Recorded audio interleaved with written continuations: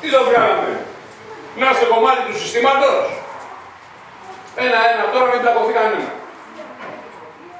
Θα σας φέρω να σας το μοιράσουμε ένα χαρτάκι που λέει όλα τα νομοσχέδια που έχουν ψηφιστεί ένα-ένα, ένα-ένα. Στη Βουλή των Ελλήνων, στην καινούργια σύνοδο από τον Οκτώβριο μέχρι σήμερα. Ένα-ένα.